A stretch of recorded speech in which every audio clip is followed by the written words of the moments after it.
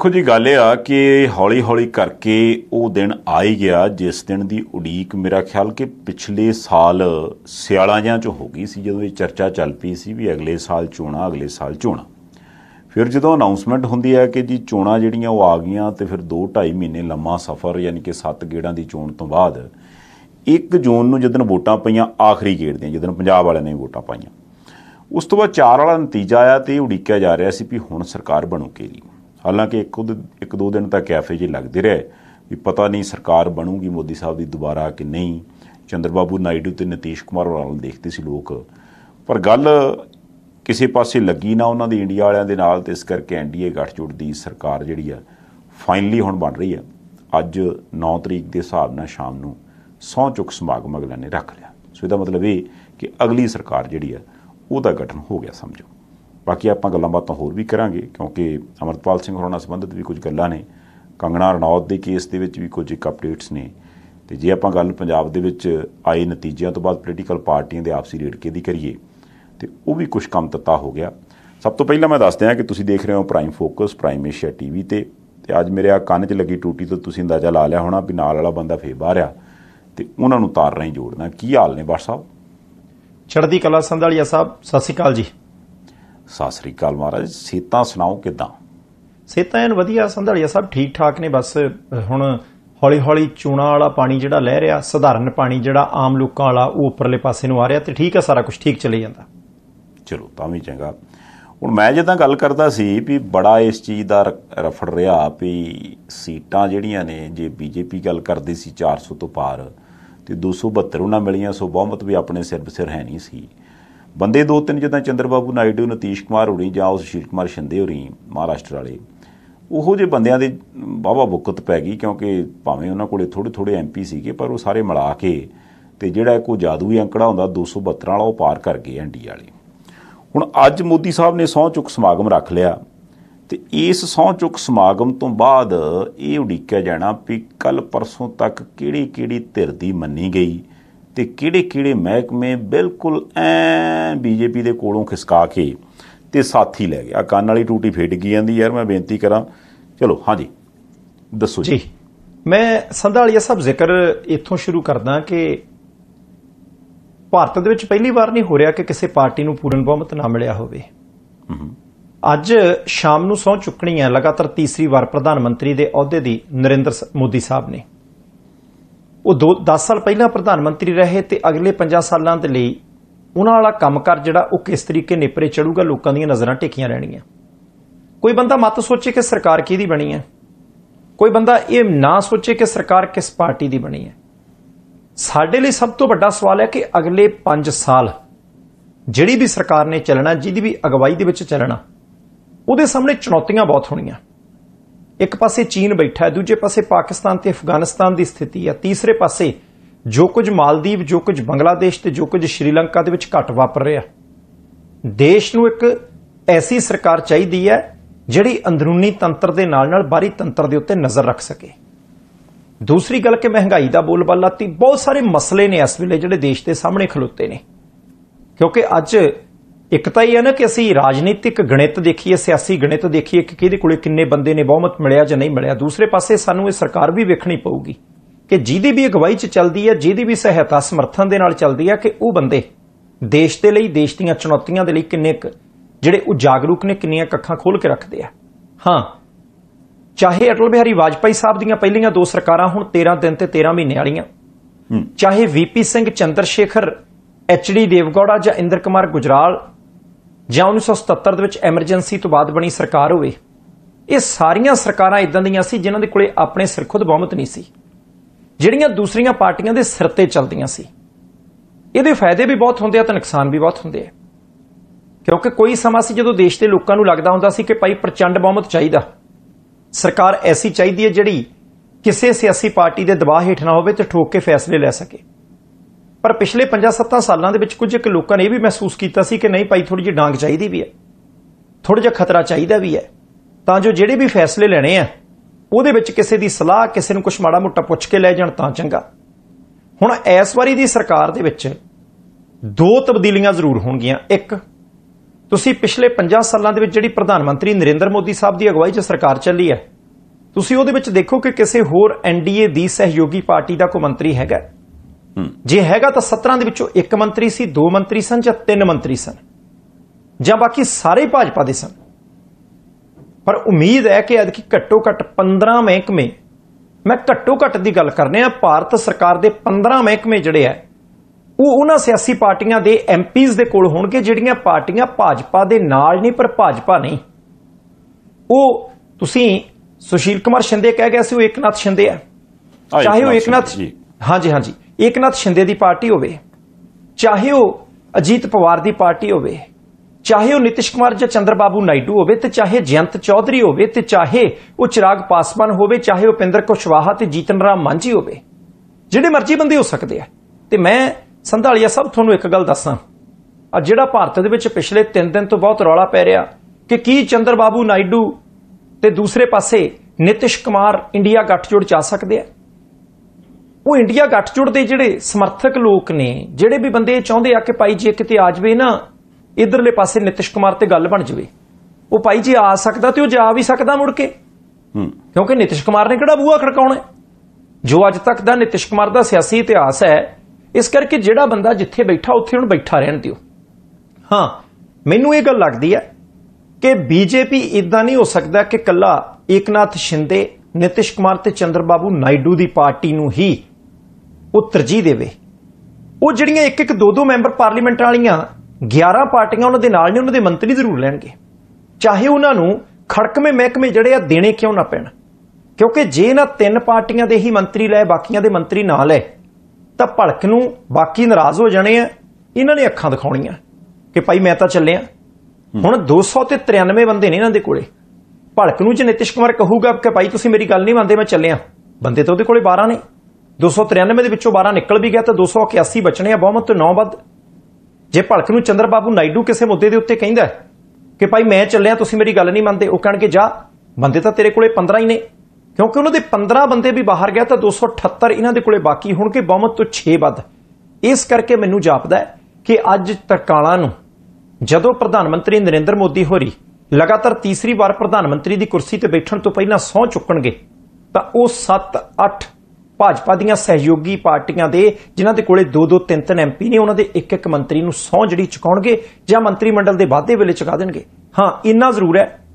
ਰਫੜ ਰਹਿਣਾ ਖਤਰਾ ਰਹਿਣਾ ਰੌਲਾ ਰਹਿਣਾ ਕਿਉਂਕਿ ਤੁਸੀਂ ਦੇਖੋ, ਜਨਤਾ ਦਲ ਯੂਨਾਈਟਿਡ ਦੇ ਮੁਖੀ ਨੇ ਨਿਤਿਸ਼ ਕੁਮਾਰ।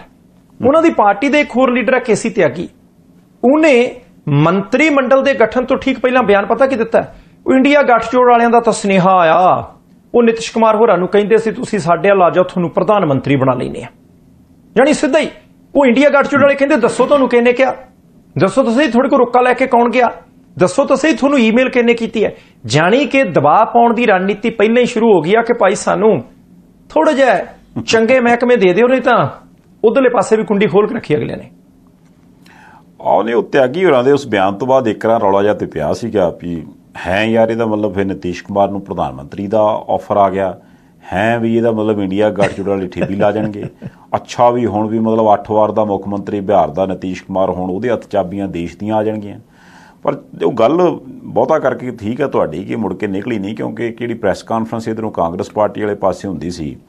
ਉਹਦੇ ਜਦੋਂ ਪੁੱਛਿਆ ਗਿਆ ਵਾਰ-ਵਾਰ ਤੇ ਉਹ ਕਹਿੰਦੇ, ਹੈ ਯਾਰ, ਅਸੀਂ ਤਾਂ ਤੁਹਾਡੇ ਕੋਲੋਂ ਸੁਣਦੇ ਪਏ, ਸਾਡੇ ਤਾਂ ਦਿਮਾਗ 'ਚ ਵੀ ਨਹੀਂ ਹੈਗਾ ਇਹੋ ਜਿਹਾ ਕੁਝ ਪਰ ਜਿਸ ਹਿਸਾਬ ਨਾਲ ਉਹਨੇ ਉਹ ਬਿਆਨ ਦਿੱਤਾ ਸੀ ਵੀ ਜਿਹੜੇ ਕੱਲ ਤੱਕ ਇੰਡੀਆ ਜਿਹੜਾ ਗੱਠਜੋੜ ਬਣਿਆ ਸੀ ਉਹਦੇ ਵਿੱਚ ਅ, ਸ਼ਾਮਲ ਕਰਕੇ ਵੀ ਰਾਜ਼ੀ ਨਹੀਂ ਸੀ ਜਾਂ ਕਹਿ ਲਓ ਕਿ ਵੀ ਉਹਦਾ ਜਦੋਂ ਇੱਕ ਮੁਖੀ ਬਣਾਉਣਾ ਸੀ ਉਹ ਬਣਾਉਣ ਦੀ ਗੱਲ ਤੋਂ ਹੀ ਇਤਰਾਜ਼ ਕਰਦੇ ਸੀ ਵੀ ਨਹੀਂ ਵੀ ਨਤੀਸ਼ ਕੁਮਾਰ ਨੂੰ ਨਹੀਂ ਬਣਾਉਣਾ।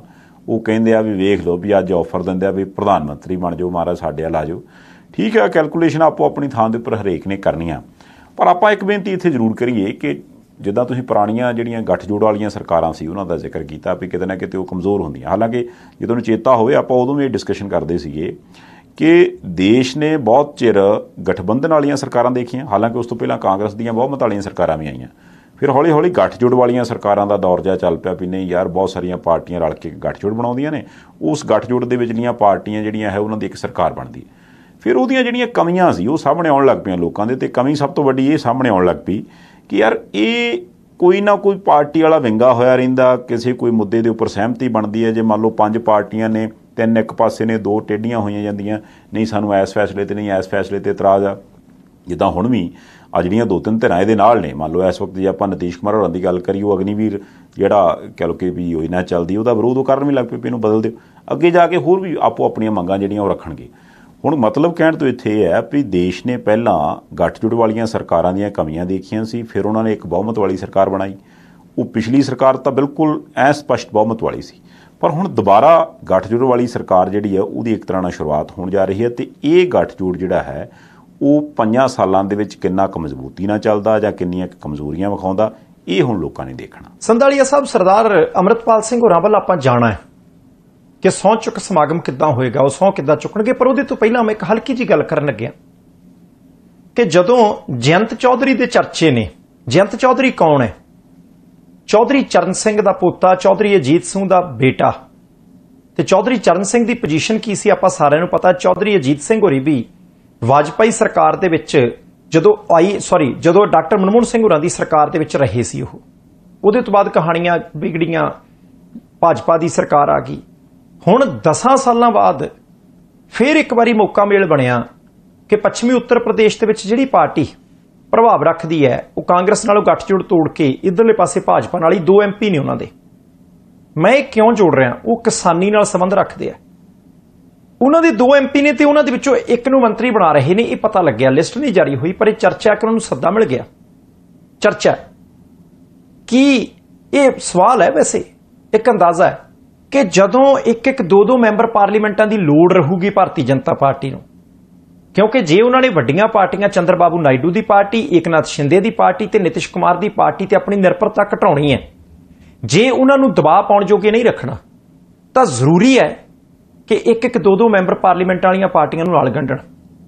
ਕੀ ਦੇਰ ਸਵੇਰ ਸ਼੍ਰੋਮਣੀ ਅਕਾਲੀ ਦਲ ਨੂੰ ਭਾਰਤੀ ਜਨਤਾ ਪਾਰਟੀ ਵਾਲੇ ਸੱਦਾ ਦੇ ਸਕਦੇ ਆ? ਕੀ ਸ਼੍ਰੋਮਣੀ ਅਕਾਲੀ ਦਲ ਨੂੰ ਆਖ ਸਕਦੇ ਆ ਕਿ ਭਾਈ ਤੁਸੀਂ ਆਜੋ ਮੈਂ ਉਹਦਾ ਕਾਰਨ ਦੱਸਦਾ। ਨਿਤਿਸ਼ ਕੁਮਾਰ ਕਦੇ ਬੀਜੇਪੀ ਦੇ ਨਾਲ ਹੁੰਦੇ ਸੀ, ਗੱਠਜੋੜ ਤੋੜ ਗਏ ਸੀ। ਉਹ ਵੀ ਵਾਪਸ ਲਿਆਂਦੇ ਆ। ਚੰਦਰਬਾਬੂ ਨਾਇਡੂ ਦੀ ਤੇਲਗੂ ਦੇਸਮ ਪਾਰਟੀ ਕਦੇ ਭਾਜਪਾ ਦੇ ਨਾਲ ਹੁੰਦੀ ਸੀ, ਗੱਠਜੋੜ ਤੋੜ ਗਈ ਸੀ, ਉਹ ਵੀ ਵਾਪਸ ਲਿਆਂਦੇ ਆ। ਜਯੰਤ ਚੌਧਰੀ ਦੀ ਪਾਰਟੀ ਮੋੜ ਕੇ ਲਿਆਂਦੀ ਹੈ ਕਈ ਹੋਰ ਬੰਦੇ ਨੇ ਜਿਹੜੇ ਮੋੜ ਕੇ ਲਿਆਂਦੇ ਆ। ਉਹ ਤਾਂ ਕਹਿੰਦੇ ਕਿ ਸ਼ਿਵ ਸੈਨਾ ਵੀ ਅਜੀਤ ਪਵਾਰ ਜਿਹੜੀ ਹੈ, ਏਕਨਾਥ ਸ਼ਿੰਦੇ ਵਾਲੀ ਅਸਲੀ ਹੈ ਤੇ ਨੈਸ਼ਨਲਿਸਟ ਕਾਂਗਰਸ ਪਾਰਟੀ ਵੀ ਅਜੀਤ ਪਵਾਰ ਵਾਲੀ ਅਸਲੀ ਹੈ। ਕੀ ਕਿਤੇ ਸੰਭਾਵਨਾਵਾਂ ਪੈਦਾ ਹੋ ਸਕਦੀਆਂ? ਅੱਜ ਨਹੀਂ ਕੱਲ 6 ਮਹੀਨਿਆਂ ਨੂੰ ਨਹੀਂ, ਸਾਲ ਨੂੰ ਜੇ ਕਿਸੇ ਮੁੱਦੇ ਦੇ ਉੱਤੇ ਪੰਗਾ ਪੈ ਜਾਵੇ ਕਿ ਭਾਈ ਅਗਲੇ ਸੱਦਾ ਦੇ ਦੇਣ ਕਿ ਭਾਈ ਆ ਹੀ ਜਾਓ ਨਾਲ। ਕਿੱਡੀ ਕ ਕਹਾਣੀ ਹੈ ਕਿਤੇ? ਇੰਨਾ ਚਿਰ ਨਾਲ ਰਹੇ ਆ 9 ਮਾਸ ਦਾ ਰਿਸ਼ਤਾ ਹੈ, ਕਿ ਅਕਾਲੀ ਦਲ ਨੂੰ ਵੀ ਕਿਤੋਂ ਨਾ ਕਿਤੋਂ ਸੱਦਾ ਮਿਲ ਸਕਦਾ ਕਿਉਂਕਿ ਆਖਰਕਾਰ ਇੱਕ ਮੈਂਬਰ ਪਾਰਲੀਮੈਂਟ ਬੀਬੀ ਸਿਮਰਤ ਕੌਰ ਬਾਦਲ ਦੇ ਰੂਪ 'ਚ, ਉਹ ਅਜੇ ਵੀ ਹੈਗੇ ਨੇ, ਤੇ ਉਹ ਦੋ ਵਾਰ ਸੁਖਨਾ ਕੈਬਨਿਟ ਦੇ ਵਿੱਚ ਮੰਤਰੀ ਵੀ ਰਹਿ ਚੁੱਕੇ ਆ ਤੇ ਪ੍ਰਧਾਨ ਮੰਤਰੀ ਸਾਹਿਬ ਵੀ ਇਹੀ ਸਨ। ਵੇਖੋ WhatsApp ਜੇ ਤੇ ਕੋਈ ਇਦਾਂ ਆਖੇ ਨਾ ਵੀ ਇਹ ਨਹੀਂ ਹੋ ਸਕਦਾ, ਤੇ ਮੈਨੂੰ ਲੱਗਦਾ ਹੁੰਦਾ ਵੀ ਉਸ ਬੰਦੇ ਨੂੰ ਸਿਆਸਤ ਦੀ ਸਮਝ ਨਹੀਂ। ਕਿਉਂਕਿ ਸਿਆਸਤ ਇੱਕ ਐਸਾ ਪਿੜਿਆ ਜਿੱਥੇ ਜਿਹੜਾ ਮਰਜ਼ੀ ਭਲਵਾਨ ਜਦੋਂ ਮਰਜ਼ੀ ਆ ਕੇ ਘੁਲ ਸਕਦਾ, ਘੁਲਦਾ ਘੁਲਦਾ ਭਲਵਾਨ ਜਿਹੜਾ ਉਹ ਢਹਿ ਵੀ ਸਕਦਾ ਤੇ ਬਿਲਕੁਲ ਢੈਂਦਾ ਢੈਂਦਾ ਭਲਵਾਨ ਕਿਸੇ ਨੂੰ ਢਾਹ ਵੀ ਸਕਦਾ। ਸੋ ਸਿਆਸਤ ਇਦਾਂ ਦੀ ਖੇਡ ਆ ਠੀਕ ਆ, ਕਿਉਂਕਿ ਗੱਲ ਇਹ ਆ ਵੀ ਪੰਜਾਬ ਦੇ ਵਿੱਚ ਜਿਹੜੀ ਈਨ ਜੇ ਆਪਾਂ ਮੰਨ ਲਓ ਪਿਛਲੇ ਸਮੇਂ ਦੇ ਵਿੱਚ ਹੋਈਆਂ ਜਿਹੜੀਆਂ ਲੋਕ ਸਭਾ ਚੋਣਾਂ, ਉਹਨਾਂ ਦੀ ਵੋਟ ਪਰਸੈਂਟੇਜ ਦੇ ਹਿਸਾਬ ਨਾਲ ਵੇਖੀਏ ਤੇ ਉਹਦੇ ਚੋਂ ਜੇ ਆਪਾਂ ਆਉਂਦੀਆਂ ਵਿਧਾਨ ਸਭਾ ਚੋਣਾਂ ਦੇ ਹਿਸਾਬ ਨਾਲ ਐਮਐਲਏਜ਼ ਦੀ ਗਿਣਤੀ ਦੇਖੀਏ ਤੇ ਮੇਰਾ ਖਿਆਲ ਕੋਈ 22 23 ਦੇ ਕਰੀਬ ਐਸੇ ਵਿਧਾਨ ਸਭਾ ਹਲਕੇ ਆ ਜਿਹੜੇ ਬੀਜੇਪੀ ਨੇ ਜਿੱਤ ਲਏ। ਤੇ ਇੰਨੀਆਂ ਕੁ ਸੀਟਾਂ ਉਹਨਾਂ ਨੂੰ ਦਿੰਦੇ ਹੁੰਦੇ ਸੀ, ਉਹ ਅਕਾਲੀ ਦਲ ਵਾਲੇ, ਉਹ ਕਹਿੰਦੇ ਸੀ, ਯਾਰ, ਜਦੋਂ ਤੁਸੀਂ ਸਾਨੂੰ ਗੱਠਜੋੜ 'ਚ ਰੱਖਦੇ ਸੀ, ਉਨੀਆਂ ਸੀਟਾਂ ਤਾਂ ਅਸੀਂ ਹੁਣ ਜਿੱਤੀ ਜਾਂਦੇ ਆ। ਤੇ ਐਦਾਂ ਕਿਦਾਂ ਗੱਠਜੋੜ 'ਚ ਮਾਰਾ ਜਾਂ ਦੇ ਬਰਾਬਰ ਤੇ ਅੱਜ ਫਿਰ ਆਪਾਂ ਗੱਲ ਕਰ ਲਈ। ਹਾਲਾਂਕਿ ਅਕਾਲੀ ਦਲ ਜਿਹੜਾ, ਉਹ ਉਹ ਉਨੀਆਂ ਸੀਟਾਂ ਨਹੀਂ ਜਿੱਤ ਸਕਿਆ। ਮੇਰਾ ਖਿਆਲ ਉਹਨਾਂ ਦੀਆਂ 7-8 ਹੀ ਬਣਦੀਆਂ ਨੇ। ਹੁਣ ਜਦੋਂ ਉਹਨਾਂ ਨੂੰ ਪਤਾ ਲੱਗ ਗਿਆ ਵੀ ਅਸੀਂ ਹੁਣ ਵੱਡੇ ਭਰਾ ਬਣਨ ਦੀ ਕਹਿ ਲਓ ਕਿ ਵੀ ਆ ਗਏ ਆ ਸਥਿਤੀ 'ਚ, ਤੇ ਜੇ ਉਹਨਾਂ ਨੂੰ ਆਫਰ ਦੀ ਗੱਲ ਚੱਲੀ, ਤੇ ਅਕਾਲੀ ਦਲ ਕੀ ਪਤਾ, ਹਾਂ ਕਰ ਹੀ ਦੇਵੇ। ਪਰ ਇਹ ਮੇਰਾ ਖਿਆਲ ਭਵਿੱਖ ਦੀਆਂ ਗੱਲਾਂ ਨੇ, ਇਹਦਾ ਅਸਰ ਅਕਾਲੀ ਦਲ ਨੇ ਵੀ ਦੇਖਣਾ ਵੀ ਪਾਰਟੀ ਤੇ ਕੀ ਪੈਣਾ, ਇਹਦਾ ਅਸਰ ਬੀਜੇਪੀ ਨੇ ਵੀ ਦੇਖਣਾ ਵੀ ਗੱਠਜੋੜ ਚ ਆਉਣ ਤੋਂ ਬਾਅਦ ਸਾਡੇ ਤੇ ਕੀ ਪੈਣਾ, ਵੀ ਕੀ ਅਸੀਂ ਇਕੱਲਿਆਂ ਚੱਲ ਕੇ 4 ਸਾਲ ਕੰਮ ਕਰ ਲਈਏ, ਉਹਦੇ ਚ ਫਾਇਦਾ ਜਾਂ ਫਿਰ ਗੱਠਜੋੜ ਚ ਆ ਜਾਈਏ।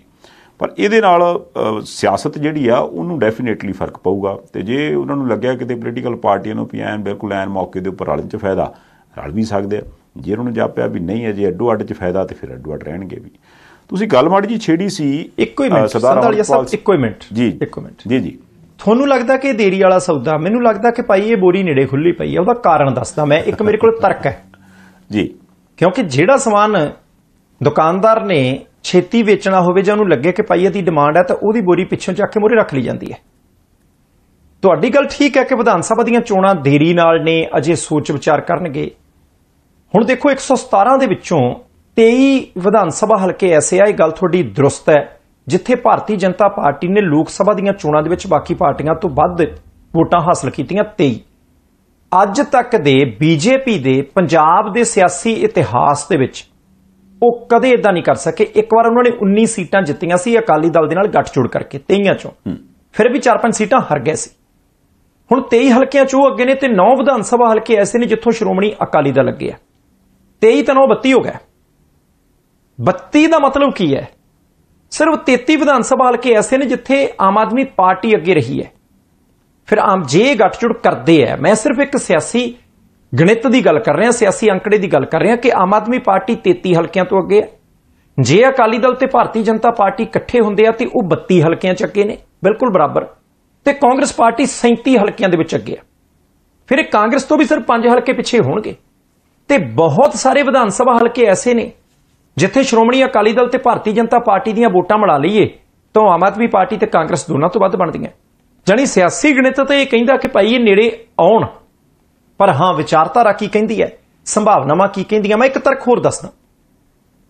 ਬਹੁਤ ਜਲਦ ਜਲੰਧਰ, ਅੰਮ੍ਰਿਤਸਰ, ਲੁਧਿਆਣਾ, ਮੋਹਾਲੀ, ਇਹਨਾਂ ਸਾਰੇ ਸ਼ਹਿਰਾਂ ਦੀਆਂ ਨਿਗਮ ਚੋਣਾਂ ਨੇ। ਨਿਗਮ ਚੋਣਾਂ। ਤੇ ਲੁਧਿਆਣੇ ਸ਼ਹਿਰ ਦੇ 6 ਜਿਹੜੇ ਸ਼ਹਿਰੀ ਵਿਧਾਨ ਸਭਾ ਹਲਕੇ ਆ, ਉਹਨਾਂ ਦੇ ਵਿੱਚੋਂ 5 ਵਿਧਾਨ ਸਭਾ ਹਲਕਿਆਂ ਦੇ ਵਿੱਚੋਂ ਭਾਰਤੀ ਜਨਤਾ ਪਾਰਟੀ ਅੱਗੇ ਰਹੀ ਹੈ। ਪੰਜ ਵਿਧਾਨ ਸਭਾ ਹਲਕਿਆਂ ਚੋਂ 6 ਨੇ, ਲੁਧਿਆਣਾ, ਪੂਰਬੀ ਲੁਧਿਆਣਾ, ਦੱਖਣੀ ਲੁਧਿਆਣਾ, ਉੱਤਰੀ ਲੁਧਿਆਣਾ, ਪੱਛਮੀ ਲੁਧਿਆਣਾ, ਕੇਂਦਰੀ ਤੇ ਆਤਮਨਗਰ। ਹੁਣ ਭਲਕ ਨੂੰ ਜੇ ਨਗਰ ਨਿਗਮ ਚੋਣਾਂ ਆਉਂਦੀਆਂ, ਆਉਣੀਆਂ ਹੀ ਆ। ਤੇ ਭਾਰਤੀ ਜਨਤਾ ਪਾਰਟੀ ਦਾ ਹੱਥ ਉੱਪਰ ਉੱਥੇ ਰਹਿ ਸਕਦਾ ਮੈਂ ਨਹੀਂ ਕਹਿੰਦਾ ਕਿ ਲੋਕਾਂ ਨੇ ਵੋਟਾਂ ਇਸੇ ਹਿਸਾਬ ਨਾਲ ਪਾਉਣੀਆਂ। ਤੇ ਜੇ ਕਿਤੇ ਹੁਣ ਅਕਾਲੀ ਦਲ ਕੱਲਾ ਉੱਥੋਂ ਕੀ ਲੱਭੂਗਾ? ਤੇ ਭਾਰਤੀ ਜਨਤਾ ਪਾਰਟੀ ਨੂੰ ਜੇ ਮਾੜੀ ਜਿਹੀ ਕਮਜ਼ੋਰੀ ਲੱਗਦੀ ਹੋਈ ਤਾਂ ਅਕਾਲੀ ਦਲ ਦੇ ਨਾਲ ਹੁਣ ਨਾ ਦੂਰ ਹੋ ਸਕਦੀ ਹੈ। ਦੂਸਰੀ ਗੱਲ ਜਲੰਧਰ ਸ਼ਹਿਰ ਦੇ ਵਿੱਚ 3.5 ਵਿਧਾਨ ਸਭਾ ਹਲਕੇ ਨੇ। 3.5 ਮੈਂ ਕਿਉਂ ਕਹਿ ਰਿਹਾ? ਜਲੰਧਰ ਉੱਤਰੀ ਜਲੰਧਰ ਕੇਂਦਰੀ ਤੇ ਜਲੰਧਰ ਪੱਛਮੀ ਇਹ ਤਿੰਨ ਤਾਂ ਹੈਗੇ ਆ ਕਿ ਜਲੰਧਰ ਕੈਂਟ ਹੈ ਪ੍ਰਗਟ ਸਿੰਘ ਹੋਲਾ ਉਹ ਅੱਧਾ ਅੱਧਾ ਪਿੰਡ ਚ ਅੱਧਾ ਸ਼ਹਿਰ ਚ ਹੈ। ਇਹਨਾਂ 3.5 ਵਿਧਾਨ ਸਭਾ ਹਲਕਿਆਂ ਚੋਂ ਦੋ ਹਲਕਿਆਂ ਚ ਬੀਜੇਪੀ ਬਾਕੀ ਪਾਰਟੀਆਂ ਤੋਂ ਅੱਗੇ ਰਹੀ ਹੈ। ਇਹਦਾ ਮਤਲਬ ਹੈ ਕਿ ਉੱਥੇ ਬੀਜੇਪੀ ਕੰਡੇ ਤੇ ਹੈ। ਪਰ ਜੇ ਅਕਾਲੀ ਦਲ ਦੀਆਂ ਵੋਟਾਂ ਨਾਲ ਮਿਲਣ ਤਾਂ ਕਹਾਣੀ ਜਿਹੜੀ ਹੋਰ ਹੈ। ਥੋੜੇ ਜਿਹੇ ਹਿਸਾਬ ਕਿਤਾਬ ਅੰਮ੍ਰਿਤਸਰ ਦੇ ਵਿੱਚ ਵੀ ਇਦਾਂ ਦੇ ਨੇ। ਸੋ ਕੁੱਲ ਮਿਲਾ ਕੇ ਇਹਨੂੰ ਵਿਧਾਨ ਸਭਾ ਦੀਆਂ ਚੋਣਾਂ ਦੇ ਗੱਜ ਦੇ ਨਾਲ ਜੇ ਆਪਾਂ ਨਾ ਨਾਪੀਏ ਤਾਂ ਚੰਗਾ। ਇਹਨੂੰ ਆਪਾਂ ਇੰਚੀ ਟਿਪ ਲਈਏ ਨਗਰ ਨਿਗਮ ਦੀਆਂ ਚੋਣਾਂ ਦਾ। ਭਾਰਤੀ ਜਨਤਾ ਪਾਰਟੀ ਉੱਥੇ ਸਟਰੋਂਗ ਪ੍ਰਦਰਸ਼ਨ ਮਜ਼ਬੂਤ ਪ੍ਰਦਰਸ਼ਨ ਕਰ ਸਕਦੀ ਹੈ। ਅਕਾਲੀ ਦਲ ਦੇ ਲਈ ਚੁਣੌਤੀ ਵੱਡੀ ਹੋਏਗੀ। ਪਰ ਜੇ ਕਿਤੇ ਆ ਕੇਂਦਰ ਸਰਕਾਰ ਵਾਲੀ ਗੱਲ ਇਹ ਬਣਾ ਗਿਆ ਮੈਂ ਨਹੀਂ ਕਹਿੰਦਾ ਇਦਾਂ ਹੋਣੀ ਹੈ ਕੋਈ ਬੰਦਾ ਇਦਾਂ ਨਾ ਕਹੇ ਕੋਈ ਗੱਲ ਨਹੀਂ ਚੱਲਦੀ ਕੋਈ ਬਿਆਨ ਨਹੀਂ ਆਇਆ। ਪਰ ਜੇ ਕਿਤੇ ਸੱਦਾ ਉੱਪਰਲੇ ਪਾਸਿਓਂ ਆ ਗਿਆ ਤੇ ਕੱਲ ਨੂੰ ਸ਼ਹਿਰਾਂ ਦੀਆਂ ਚੋਣਾਂ ਆ ਗਈਆਂ, ਇਹ ਆਮ ਆਦਮੀ ਪਾਰਟੀ ਲਈ ਵੀ ਖਤਰਾ ਬਣ ਗਏ ਤੇ ਕਾਂਗਰਸ ਦੇ ਲਈ ਵੀ ਖਤਰਾ ਬਣ ਗਏ। ਮੈਂ ਅਜੇ ਬਾਕੀ ਸ਼ਹਿਰਾਂ ਦਾ ਹਿਸਾਬ ਕਿਤਾਬ ਲਾ ਕੇ ਦੱਸਿਆ ਹੀ ਨਹੀਂ। ਜੇ ਤੁਹਾਡੀ ਅੰਕੜਿਆਂ ਦੇ ਹਿਸਾਬ ਨਾਲ ਮੇਰੇ ਨਾਲ ਸਹਿਮਤੀ ਹੈ ਤਾਂ ਦੱਸ ਦਿਓ, ਮੈਂ ਉਸੇ ਵੇਲੇ ਈਨ ਮੰਨ ਜੂ ਨਹੀਂ ਨਹੀਂ, ਠੀਕ ਆ। ਦੇਖੋ, ਜੇ ਤੇ ਆਪਾਂ ਆਉਣ ਵਾਲੀਆਂ ਛੋਟੀਆਂ ਚੋਣਾਂ ਦੇ ਹਿਸਾਬ ਨਾਲ ਵੇਖੀਏ ਤੇ ਉਸ ਹਿਸਾਬ ਨਾਲ ਤੇ ਇਹ ਦਵਾਈ ਮਾਫਕ ਲੱਗਦੀ। ਤੇ ਉਦਾਂ ਹੀ ਹੁੰਦਾ ਜਿੱਦਾਂ ਕਹਿੰਦਾ ਵੀ ਯਾਰ ਬਰਸਾਤਾਂ ਜੀਆਂ ਆਉਣ ਵਾਲੀਆਂ ਨੇ ਤੇ ਨਿੱਕਿਆ ਉਹ ਆਂਦੇ ਕਨੈਣ ਦੀ ਗੋਲੀ ਇੱਕ ਇੱਕ ਖਾ ਲਓ ਨਹੀਂ ਤੇ ਨਿੰਮ ਘੋਟ ਕੇ ਪੀ ਲਓ ਉਹ ਨਿੰਮ ਭਾਵੇਂ ਕੌੜੀ ਵੀ ਹੋਵੇ, ਪਰ ਜੇ ਜਾਪਦਾ ਵੀ ਮੁਫੀਦ ਆ, ਇਹਦਾ ਕੋਈ ਫਾਇਦਾ। ਤੇ ਫਿਰ ਬੰਦਾ ਅੱਖਾਂ ਜੀਆਂ ਮੀਟ ਕੇ ਕਰਾਂ ਖਿੱਚ ਲੈਂਦਾ ਅੰਦਰ ਨੂੰ। ਉਹ ਜਿਹਾ ਕੁਝ ਹੋ ਸਕਦਾ। ਬਾਕੀ ਤੁਸੀਂ ਜਦੋਂ ਵਿਧਾਨ ਸਭਾ ਅੰਕੜਿਆਂ ਦੀ ਗਿਣਤੀ ਦੱਸਦੇ ਸੀ ਨਾ, ਤੁਸੀਂ ਕਿਹਾ ਵੀ 37 ਕਾਂਗਰਸ ਕੋਲੇ 33 ਆਮ ਆਦਮੀ ਪਾਰਟੀ ਕੋਲੇ 23 ਬੀਜੇਪੀ ਕੋਲੇ 9 ਅਕਾਲੀਆਂ ਕੋਲੇ। ਫਿਰ ਬੰਦਾ ਸੋਚਣ ਵਾਲਾ ਇਹ ਸੋਚ ਸਕਦਾ ਵੀ ਯਾਰ ਇਹ ਤੇ 102 ਬਣਦੇ, ਬਾਕੀ 15 ਕਿੱਧਰ ਗਏ? ਕਿਉਂਕਿ 117 ਹਲਕੇ ਆ, ਦੇਖੋ ਮੈਂ ਦੱਸ ਦਿਆਂ ਕਿ 8 ਹਲਕਿਆਂ ਦੇ ਵਿੱਚ ਖਡੂਰ ਸਾਹਿਬ ਦੇ ਜਿਹੜੇ 9 ਵਿਧਾਨ ਸਭਾ ਹਲਕੇ ਸੀ ਲੋਕ ਸਭਾ ਹਲਕੇ ਦੇ ਵਿੱਚੋਂ 9 ਵਿਧਾਨ ਸਭਾ ਹਲਕੇ ਸੀ 8 ਦੇ ਵਿੱਚ ਅਮਰਤਪਾਲ ਸਿੰਘ ਹੋਰਾਂ ਦੀ ਲੀਡ ਸੀ। ਤੇ ਜੇ ਫਰੀਦਕੋਟ ਦੇ ਨੌਵਾਂ ਚੋਂ ਗੱਲ ਕਰਾਂ ਤੇ ਸੱਤਾਂ ਦੇ ਉੱਪਰ ਸਰਬਜੀਤ ਸਿੰਘ ਹੋਰਾਂ ਦੀ ਲੀਡ ਹੈ, ਯਾਨੀ ਕਿ 15 ਵਿਧਾਨ ਸਭਾ ਹਲਕੇ ਪੰਜਾਬ ਦੇ 117 ਹਲਕਿਆਂ ਦੇ ਵਿੱਚੋਂ ਪੰਥਕ ਲਹਿਰ ਦੇ ਵੀ ਹਿੱਸੇ ਆਏ, ਜਾਂ ਕਹਿ ਲਓ ਕਿ ਵੀ ਜਿਹੜੀ ਪੰਥਕ ਵਿਚਾਰਧਾਰਾ ਵਾਲੇ ਇਸ ਵਕਤ ਉਮੀਦਵਾਰ ਖੜੇ ਸੀਗੇ ਉਹਨਾਂ ਦੇ ਹਿੱਸੇ ਵੀ ਆਏ। ਸੋ ਜੇ ਆਪਾਂ ਇਹ ਲੋਕ ਸਭਾ ਇਹ ਅਕਾਲੀ ਦਲ ਤੋਂ ਦੁੱਗਣੇ ਬਣਦੇ ਆ ਜੀ। ਆ ਮੈਂ ਉਹੀ ਕਹਿਣ ਲੱਗਿਆ ਸੀ ਵੀ ਇਸ ਹਿਸਾਬ ਨਾਲ ਆਪਾਂ ਦੇਖੀਏ ਤੇ ਤੁਸੀਂ ਦੇਖੋ ਕਿ ਇਹਨਾਂ ਲੋਕ ਸਭਾ ਚੋਣਾਂ ਨੂੰ ਵਿਧਾਨ ਸਭਾ ਚੋਣਾਂ ਦੇ ਨਤੀਜਿਆਂ ਦੇ ਵਿੱਚ ਵੰਡ ਕੇ ਵੇਖਣਾ ਹੋਵੇ ਤੇ ਸਭ ਤੋਂ ਵੱਡੀ ਪਾਰਟੀ ਭਾਵੇਂ ਕਾਂਗਰਸ ਬਣਦੀ ਹੈ। 37 ਸੀਟਾਂ ਦੇ ਨਾਲ ਪਰ ਸਰਕਾਰ ਉਹਨਾਂ ਦੀ ਵੀ ਨਹੀਂ ਬਣਦੀ। ਰਾਜ ਕਰਦੀ ਧਿਰ ਭਾਵੇਂ 92 ਐਮਐਲਏ ਹੋਣ ਲਈ ਫਿਰਦੀ ਹੈ ਪਰ ਉਹਨਾਂ ਕੋਲੇ ਫਿਰ ਵੀ 33 ਹਲਕੇ ਆਉਂਦੇ ਬੀਜੇਪੀ ਨੇ ਵਾਕਈ ਜਿੱਦਾਂ WhatsApp ਤੁਸੀਂ ਕਿਹਾ ਕਿ ਮਾਰਕਾ ਬਹੁਤ ਵੱਡਾ ਮਾਰਿਆ ਵੀ 23 ਦੇ ਕਰੀਬ, ਹੁਣ ਤੱਕ ਦਾ ਕਦੀ ਉਹਨਾਂ ਨੇ ਇੰਨੀਆਂ ਨਹੀਂ ਸੀਟਾਂ ਜਿੱਤੀਆਂ ਜਿੰਨੀਆਂ ਉਹਨਾਂ ਨੇ ਇਕੱਠੀਆਂ ਜਿੱਤ ਲੀਆਂ ਪਰ ਅਕਾਲੀ ਦੇ ਦਲ ਦੇ ਲਈ ਸੋਚਣ ਵਿਚਾਰਨ ਦੀ ਘੜੀ ਹੈ ਵੀ ਅਕਾਲੀ ਦਲ ਪੰਥਕ ਸਿਆਸਤ ਵਾਲੇ ਪਾਸੇ ਜ਼ਰੂਰ ਮੁੜਿਆ ਸੀ। ਆਪ- ਜਦੋਂ ਗੱਠਜੋੜ ਟੁੱਟਦਾ, ਕਿਸਾਨ ਅੰਦੋਲਨ ਤੋਂ ਬਾਅਦ ਆਪਾਂ ਦੇਖਿਆ ਬਹੁਤ ਸਾਰੇ ਐਸੇ ਮੁੱਦੇ, ਐਸੇ ਮਸਲੇ ਜਿਹੜੇ ਕਿ ਸਿੱਖ ਭਾਈਚਾਰੇ ਨਾਲ ਸੰਬੰਧਿਤ ਸੀਗੇ ਜਾਂ ਕਹ ਲਓ ਵੱਖ-ਵੱਖ ਪ੍ਰਬੰਧਕ ਕਮੇਟੀਆਂ ਨਾਲ ਸੰਬੰਧਿਤ ਸੀਗੇ। ਅਗਾਂਹ ਹੋ ਕੇ ਇੱਕ ਤਰ੍ਹਾਂ ਨਾਲ ਕਹ ਲਓ ਕਿ ਵੀ ਆਵਾਜ਼ ਦਿੱਤੀ ਹੈ ਅਕਾਲੀ ਦਲ ਨੇ। ਪਰ ਉਹ ਫਿਰ ਵੀ 9 ਹਲਕਿਆਂ ਤੱਕ ਸੀਮਿਤ ਰਹਿ ਜਾਂਦਾ। ਤੇ ਦੂਸਰੇ ਪਾਸੇ ਜੇ ਆਪਾਂ ਖਡੂਰ ਸਾਹਿਬ ਤੇ ਫਰੀਦਕੋਟ ਦੇ ਇਹਨਾਂ ਦੋ ਲੋਕ ਸਭਾ ਹਲਕਿਆਂ ਦੇ ਵਿਧਾਨ ਸਭਾ ਹਲਕਿਆਂ ਨੂੰ ਰਲਾ ਲਈਏ ਤੇ ਉਹਦੇ ਚੋਂ 15 ਵਿਧਾਨ ਸਭਾ ਹਲਕੇ ਉਹ ਜਿਹੜਾ ਕਹਿ ਲਓ ਕਿ ਵੀ ਪੰਥਕ ਅ, ਦਿੱਖ ਵਾਲੇ ਜਿਹੜੇ ਲੀਡਰ ਨੇ ਉਹਨਾਂ ਦਾ ਕਰਕੇ ਉਹਨਾਂ ਦੇ ਹਿੱਸੇ ਆ ਗਏ। ਸੋ ਜੇ ਆਪਾਂ ਅੱਜ ਦੀ ਡੇਟ ਦੇ ਵਿੱਚ ਲੰਘੀਆਂ ਲੋਕ ਸਭਾ ਚੋਣਾਂ ਚੋਂ ਵਿਧਾਨ ਸਭਾ ਦੀਆਂ ਸੀਟਾਂ ਨੂੰ ਗਿਣਨਾ ਹੋਵੇ ਤੇ ਇੱਕ ਤੇ ਜੇ ਕਾਂਗਰਸ ਆ ਦੋ ਤੇ ਆਪ ਵਾਲੇ ਨੇ ਤੀਸਰੇ ਤੇ ਬੀਜੇਪੀ ਆ ਪੰਜਾਬ ਦੇ ਵਿੱਚ ਚੌਥੇ ਦੇ ਉੱਪਰ ਉਹ ਲੀਡਰ ਨੇ ਜਿਹੜੇ ਕਿ ਸਿੱਖ ਵਿਚਾਰਧਾਰਾ ਨਾਲ ਸਾਹਮਣੇ ਆਉਂਦੇ ਨੇ ਤੇ ਸ਼੍ਰੋਮਣੀ ਅਕਾਲੀ ਦਲ ਜਿਹੜਾ ਕਿ ਪੰਥਕ ਸਿਆਸਤ ਜਾਂ ਪੰਥਕ ਨੁਮਾਇੰਦਗੀ ਦੀ ਗੱਲ ਕਰਦਾ, ਉਹ ਇਸ ਵਕਤ ਉਹਨਾਂ ਤੋਂ ਵੀ ਪਿੱਛੇ ਆ, ਸਿਰਫ 9 ਵਿਧਾਨ ਸਭਾ ਹਲਕਿਆਂ 'ਚ ਜਿੱਤ ਦੇ ਹਿਸਾਬ ਨਾਲ। ਸੋ ਇਹ ਅੰਕੜਾ ਤੁਸੀਂ ਆਪ ਅੰਦਾਜ਼ਾ ਲਾ ਲਓ ਕਿ ਵੀ ਹਰੇਕ ਪੋਲੀਟੀਕਲ ਪਾਰਟੀ ਨੇ ਥਾਂ ਥਾਂ ਤੰਗ ਜ਼ਰੂਰ ਕਰੂਗਾ। ਵੀ ਜੇ ਅਸੀਂ 27 ਦੇ ਵਿੱਚ ਆਪਣੀ ਸਰਕਾਰ ਬਣਾਉਣੀ ਹੈ ਆਪਣੇ ਸਿਰ ਸਿਰ ਬਹੁਮਤ ਲਿਆਉਣਾ ਤੇ ਫਿਰ ਸਾਨੂੰ ਕੀ ਐਸਾ ਕਰਨ ਦੀ ਲੋੜ ਆ, ਜਿਹਦੇ ਨਾਲ ਲੋਕ ਸਾਨੂੰ ਵੋਟਾਂ ਪਾ ਦੇਣਗੇ। ਸੰਧਾਲੀਆ ਸਾਹਿਬ, ਗੱਲ ਤੁਹਾਡੀ ਠੀਕ ਹੈ, ਬਿਲਕੁਲ ਸਭ ਤੋਂ ਵੱਧ ਘਾਟਾ ਲੋਕ ਸਭਾ ਦੀਆਂ ਚੋਣਾਂ ਦੇ ਵਿੱਚ ਆਮ ਆਦਮੀ ਪਾਰਟੀ ਨੂੰ ਪਿਆ ਬਾਕੀ ਸਾਰੀਆਂ ਧਿਰਾਂ ਉੱਪਰਲੇ ਪਾਸੇ ਨੂੰ ਗਈਆਂ, ਕਾਂਗਰਸ ਪਾਰਟੀ ਦੇ ਕੋਲੇ 18 ਐਮਐਲਏ ਸੀ, ਉਹ 37 ਤੇ ਚਲੇ ਗਏ। ਭਾਰਤੀ ਜਨਤਾ ਪਾਰਟੀ ਦੇ ਕੋਲੇ 2 ਐਮਐਲਏ ਸੀ, ਉਹ 23 ਤੱਕ ਅੱਪੜ ਗਏ। ਅਕਾਲੀ ਦਲ ਦੇ ਕੋਲੇ ਸਿਰਫ 3 ਸੀ ਤੇ ਉਹ 3 ਗੁਣਾ ਪ੍ਰਾਪਤੀ ਕਰਕੇ 9 ਦੇ ਉੱਤੇ ਅੱਪੜ ਗਿਆ। ਤੇ ਜਿਹੜੇ ਪੰਥਕ ਮੂੰਹ ਮਹਾਂਦਰਾ, ਜਿਹੜਾ ਪੰਜਾਬ ਦੇ ਵਿੱਚ ਨਵਾਂ ਸਿਰਜਿਆ ਜਾ ਰਿਹਾ ਉਹਨਾਂ ਦੇ ਕੋਲੇ 15 ਜਿਹੜੇ ਵਿਧਾਨ ਸਭਾ ਹਲਕੇ ਨੇ। ਸਰਦਾਰ ਸਿਮਰਨਜੀਤ ਸਿੰਘ ਮਾਨ ਹੋਰਾਂ ਦਾ ਮੈਂ ਅੰਕੜਾ ਦੇਖ ਨਹੀਂ ਸਕਿਆ ਕਿ ਕੀ ਸੰਗਰੂਰ ਦੇ ਕਿਸੇ ਹਲਕੇ ਦੇ ਵਿੱਚੋਂ ਅੱਗੇ ਰਹੇ ਨੇ ਜਾਂ ਨਹੀਂ ਰਹੇ, ਕਿਉਂਕਿ ਉਹਨਾਂ ਦਾ ਵੀ ਜਿਹੜਾ ਉਹ ਰਾਹ ਰਸਤਾ ਉਹੀ ਹੁੰਦਾ ਹੈ ਜੋ ਬਾਕੀਆਂ ਦਾ। ਹੁਣ ਸਭ ਤੋਂ ਵੱਡਾ ਸਵਾਲ, ਸਭ ਤੋਂ ਵੱਧ ਲੀਡ, ਸਭ ਤੋਂ ਵੱਧ ਵੋਟਾਂ ਪ੍ਰਾਪਤ ਜੇ ਕਿਸੇ ਉਮੀਦਵਾਰ ਨੇ ਪੰਜਾਬ ਦੇ ਕਿਸੇ ਲੋਕ ਸਭਾ ਹਲਕੇ ਤੋਂ ਕੀਤੀਆਂ, ਤੇ ਉਹ ਸ਼੍ਰੀ ਖਡੂਰ ਸਾਹਿਬ ਹਲਕੇ ਤੋਂ ਸਰਦਾਰ ਅਮਰਤਪਾਲ ਸਿੰਘ ਹੋਰੀ ਨੇ। ਜਿੱਤ ਗਏ 197000 ਵੋਟਾਂ ਦੇ ਫ਼ਰਕ ਨਾਲ। ਸਿਰਫ ਇੱਕ ਕਪੂਰਥਲਾ ਵਿਧਾਨ ਸਭਾ ਹਲਕਾ ਐਸਾ ਜਿੱਥੋਂ ਸਰਦਾਰ ਅਮਰਤਪਾਲ ਸਿੰਘ ਹੋਰਾਂ ਦੀਆਂ ਵੋਟਾਂ ਘਟੀਆਂ। ਬਾਕੀ ਸਾਰੇ ਵਿਧਾਨ ਸਭਾ ਹਲਕਿਆਂ ਤੋਂ ਉਹਨਾਂ ਦੀ ਲੀਡ ਰਹੀ ਹੈ। ਰਾਣਾ ਗੁਰਜੀਤ ਸਿੰਘ ਹੋਰੀ ਉੱਥੇ ਆਪਣਾ ਕਿਲਾ ਹਮੇਸ਼ਾ ਦੀ ਤਰ੍ਹਾਂ ਬਚਾਉਣ ਦੇ ਵਿੱਚ ਕਾਮਯਾਬ ਰਹੇ ਹੈ। ਹੁਣ ਸਰਦਾਰ ਅਮਰਤਪਾਲ ਸਿੰਘ ਹੋਰੀ ਜਿੱਤ ਗਏ ਸਭ ਤੋਂ ਵੱਧ ਲੀਡ ਹੈ ਚਰਚਾ ਰਹੂ। ਜਿੱਦਾਂ ਆਪਾਂ ਹਮੇਸ਼ਾ ਚਰਚਾ ਕਰਦੇ ਹੁੰਦੇ ਕਿ 1999 ਦੇ ਵਿੱਚ ਸਰਦਾਰ ਸਿਮਰਨਜੀਤ ਸਿੰਘ ਮਾਨ ਜਿੱਤੇ, ਇੰਨੀਆਂ ਵੋਟਾਂ ਨਾਲ ਜਿੱਤੇ ਚੁੱਪ ਚਪੀਤੇ ਜਿੱਤੇ ਇਸੇ ਤਰੀਕੇ ਦਹਾਕਿਆਂ ਤੱਕ ਇਸ 2024 ਦੇ ਸ਼੍ਰੀ ਖਡੂਰ ਸਾਹਿਬ ਲੋਕ ਸਭਾ ਹਲਕੇ ਦੇ ਨਤੀਜੇ ਦਾ ਜ਼ਿਕਰ ਹੁੰਦਾ ਰਹੂਗਾ। ਕਿ ਸਰਦਾਰ ਅਮਰਤਪਾਲ ਸਿੰਘ ਹੋਰੀ ਜੇਲ੍ਹ ਦੇ ਵਿੱਚ ਸੀ, ਕੋਈ ਸਿਆਸੀ ਪਾਰਟੀ ਉਹਨਾਂ ਦੇ ਨਾਲ ਨਹੀਂ ਸੀ, ਆਪ ਮੁਹਾਰੇ ਇੱਕ ਲਹਿਰ ਉੱਠਦੀ ਹੈ, ਆਪ ਮੁਹਾਰੇ ਪ੍ਰਚਾਰ ਹੁੰਦਾ ਤੇ 1 ਲੱਖ 97000 ਵੋਟਾਂ ਦੇ ਫ਼ਰਕ ਦੇ ਨਾਲ ਉਹ ਢਹਿ ਢੇਰੀ ਕਰ ਦਿੰਦੇ ਆ ਸਾਰਾ ਕੁਝ ਹੁਣ, ਕੀ ਸਰਦਾਰ ਅਮਰਤਪਾਲ ਸਿੰਘ ਹੋਰੀ ਜੇਲ੍ਹੋਂ ਬਾਹਰ ਆਉਣਗੇ? ਕੀ ਸਰਦਾਰ ਅਮਰਤਪਾਲ ਸਿੰਘ ਹੋਰੀ ਉਹਨਾਂ ਦੇ ਉੱਤੋਂ ਐਨਐਸਏ ਕੱਟਿਆ ਜਾਊਗਾ? ਮੈਂ ਦੋ ਚੀਜ਼ਾਂ ਕਲੀਅਰ ਕਰਦੇ ਹਾਂ। ਕਿ ਸਰਦਾਰ ਅਮਰਤਪਾਲ ਸਿੰਘ ਹੋਰੀ 543 ਮੈਂਬਰੀ ਭਾਰਤ ਦੀ ਲੋਕ ਸਭਾ ਦੇ ਵਿੱਚ ਇੱਕੋ ਇੱਕ ਐਸੇ ਐਮਪੀ ਨਹੀਂ, ਜਿਹੜੇ ਜੇਲ੍ਹ ਦੇ ਵਿੱਚ ਬੈਠੇ ਚੁਣੇ ਗਏ ਆ। ਇੱਕ ਕਸ਼ਮੀਰ ਦੀ ਉੱਤਰੀ ਸੀਟ ਹੈ, ਜੰਮੂ ਕਸ਼ਮੀਰ ਦੀ, ਕਸ਼ਮੀਰ ਉੱਤਰੀ ਨਾਰਥ ਉੱਥੋਂ ਵੀ ਰਾਸ਼ਿਦ ਨਾਂ ਦੇ ਇੱਕ ਮੈਂਬਰ ਪਾਰਲੀਮੈਂਟ ਚੁਣੇ ਗਏ, ਕਿਸੇ ਸਿਆਸੀ ਪਾਰਟੀ ਦੇ ਬੰਦੇ ਨਹੀਂ ਹੈ ਉਹ। ਉਹ ਵੀ ਜੇਲ੍ਹ ਦੇ ਵਿੱਚ ਨੇ। ਉਹ ਵੀ ਚੋਖੀਆਂ ਵੋਟਾਂ ਦੇ ਨਾਲ ਤੇ ਵੱਡੇ ਚਿਹਰਿਆਂ ਨੂੰ ਹਰਾ ਕੇ ਚੁਣੇ ਗਏ ਆ। ਹਾਲਾਂਕਿ ਕੇਸ ਬਿਲਕੁਲ ਵੱਖੋ ਵੱਖਰੇ ਨੇ। ਉਹਨਾਂ ਦੇ ਉੱਤੇ ਉਹ ਟੈਰਰ ਫੰਡਿੰਗ ਵਾਲੇ ਕੁਝ ਕੇਸ ਚੱਲਦੇ ਆ।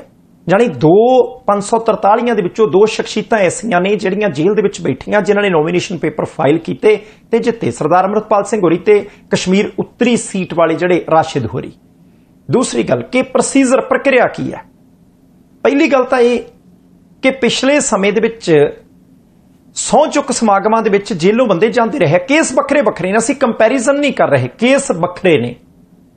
ਜੇ ਆਪਾਂ ਸੰਜੇ ਸਿੰਘ ਦੀ ਗੱਲ ਕਰੀਏ, ਆਮ ਆਦਮੀ ਪਾਰਟੀ ਨੇ ਜੇਲ੍ਹ ਦੇ ਵਿੱਚ ਬੈਠੇ ਬੰਦੇ ਨੂੰ ਦੁਬਾਰਾ ਰਾਜ ਸਭਾ ਦਾ ਮੈਂਬਰ ਬਣਾਇਆ। ਤੇ ਉਹਨਾਂ ਨੂੰ ਸਪੈਸ਼ਲ ਛੁੱਟੀ ਪੈਰੋਲ ਜ਼ਮਾਨਤ, ਜੋ ਮਰਜ਼ੀ ਕਹਿ ਲਈਏ, ਉਹਨਾਂ ਨੂੰ ਜੇਲ੍ਹ ਦੇ ਵਿੱਚੋਂ ਲਿਆਂਦਾ ਗਿਆ ਸੀ। ਉਹਨਾਂ ਨੇ ਸਹੁੰ ਚੁੱਕੀ ਤੇ ਵਾਪਸ ਜੇਲ੍ਹ ਦੇ ਵਿੱਚ। ਇਸੇ ਤਰੀਕੇ ਉੱਤਰ ਪ੍ਰਦੇਸ਼ ਦੇ ਦੋ ਜਿਹੜੇ ਵਿਧਾਇਕ ਨੇ ਉਹ ਵੀ ਵੱਖੋ ਵੱਖਰੇ ਸਮਿਆਂ ਦੇ ਵਿੱਚੋਂ ਜੇਲ੍ਹ ਦੇ ਵਿੱਚੋਂ ਜਿੱਤਦੇ ਰਹੇ ਆ ਤੇ ਮੁੜ ਕੇ ਉਹਦੇ ਤੋਂ ਬਾਅਦ ਉਹਨਾਂ ਨੂੰ ਸਪੈਸ਼ਲ ਪੈਰੋਲ ਦੇ ਕੇ ਜਾਂ ਛੋਟੀ ਜ਼ਮਾਨਤ ਦੇ ਕੇ ਕਿ ਜੇਲ੍ਹੋਂ ਸਿੱਧਾ ਵਿਧਾਨ ਸਭਾ ਦੇ ਵਿੱਚ ਉੱਥੋਂ ਸਹੁੰ ਚੁੱਕ ਸਮਾਗਮ ਤੋਂ ਬਾਅਦ ਇੱਧਰ। ਜਾਰਜ ਫਰਨਾਂਡੇਜ਼ ਹੋਰੀ ਐਮਰਜੈਂਸੀ ਤੋਂ ਬਾਅਦ ਜੇਲ੍ਹ ਦੇ ਵਿੱਚ ਹੀ ਸੀ, ਉਦੋਂ ਜਿੱਤੇ ਸੀ ਤੇ ਜੇਲ੍ਹ ਦੇ ਵਿੱਚੋਂ ਹੀ ਜਿੱਤ ਕੇ ਮੁੜ ਕੇ ਸਹੁੰ ਚੁੱਕੀ ਸੀ। ਬਾਕੀ ਸਵਾਲ ਇਹ ਪੈਦਾ ਹੁੰਦਾ ਕਿ ਕੀ ਜੇਲ੍ਹੋਂ ਬਾਹਰ ਆ ਜਾਣਗੇ ਸਰਦਾਰ ਅਮਰਤਪਾਲ ਸਿੰਘ ਹੋਰੀ? ਇਹ ਨਿਰਭਰ ਕਰੇਗਾ ਐਨਐਸਏ ਟੁੱਟਣ ਤੇ।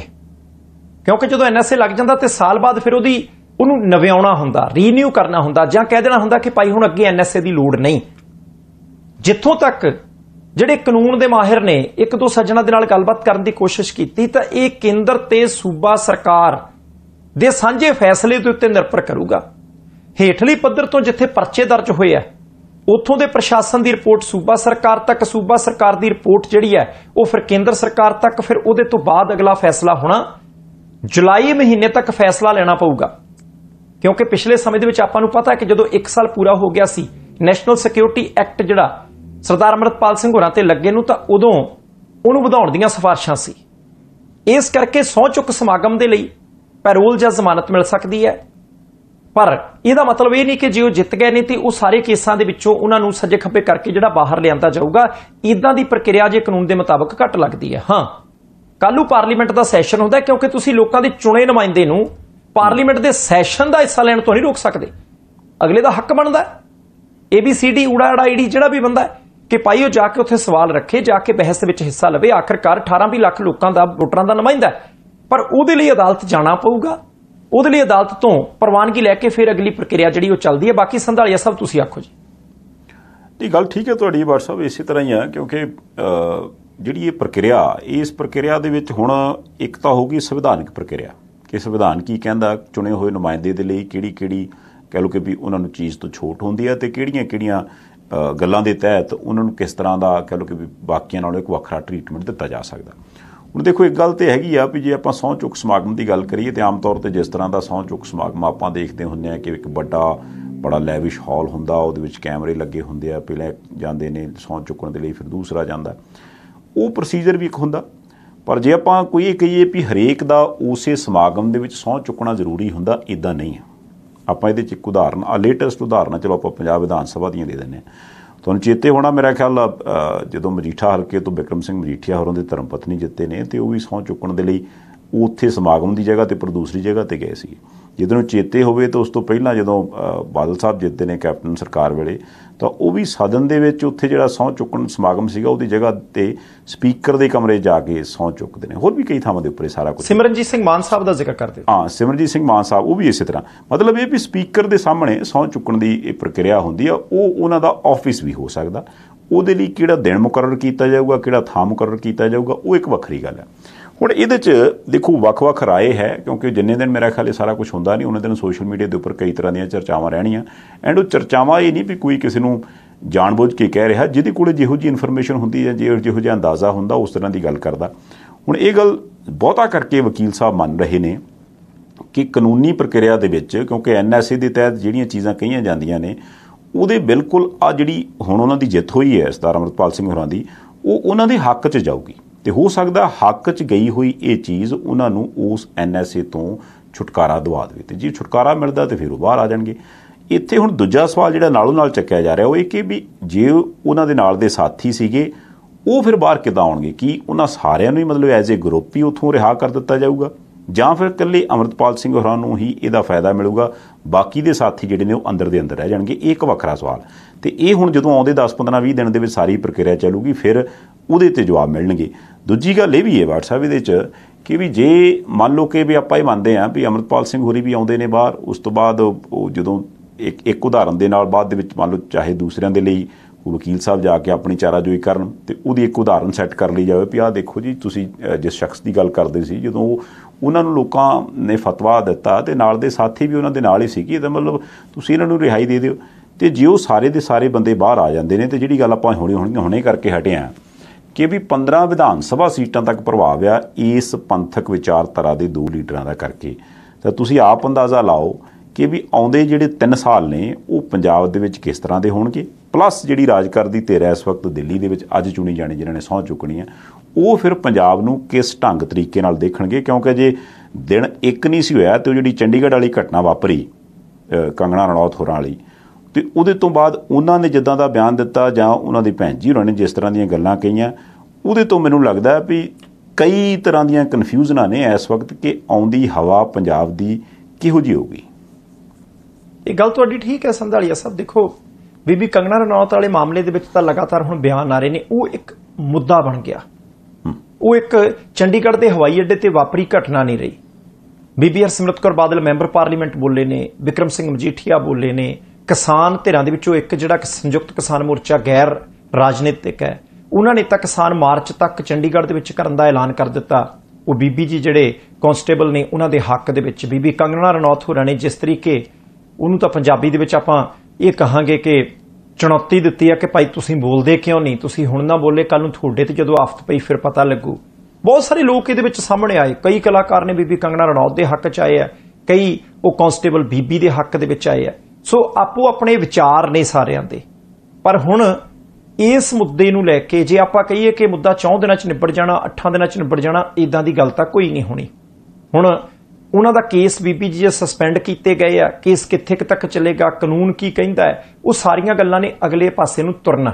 ਪਰ ਹਾਂ, ਜਿਸ ਤਰੀਕੇ ਪੰਜਾਬ ਦੇ ਵਿੱਚ ਐਤਕੀ ਲੋਕ ਸਭਾ ਚੋਣਾਂ ਦੇ ਨਤੀਜੇ ਆਏ ਆ, ਜਿਸ ਤਰੀਕੇ ਦੇ ਨਾਲ ਘਟਨਾਵਾਂ ਲਗਾਤਾਰ ਵਾਪਰ ਰਹੀਆਂ, ਜਿਸ ਤਰੀਕੇ ਕਹਿੰਦੇ ਕਹਾਉਂਦੇ ਲੀਡਰਾਂ ਨੂੰ ਠਿੱਬੀ ਲੱਗੀ ਹੈ ਜ਼ਿਮਨੀ ਚੋਣਾਂ ਪੰਜਾਬ 'ਚ ਬੜੀ ਛੇਤੀ ਆਉਣ ਵਾਲੀਆਂ ਤੇ ਉਹਨਾਂ ਜ਼ਿਮਨੀ ਚੋਣਾਂ ਨੂੰ ਸਾਹਮਣੇ ਦੇਖਦੇ ਆ ਆਪਾਂ ਕਿਸੇ ਵੱਡੇ ਸਿਆਸੀ ਫੈਸਲੇ ਤੋਂ ਇਨਕਾਰ ਨਹੀਂ ਕਰ ਸਕਦੇ, ਸੰਧਾਲੀਆ ਸਾਹਿਬ।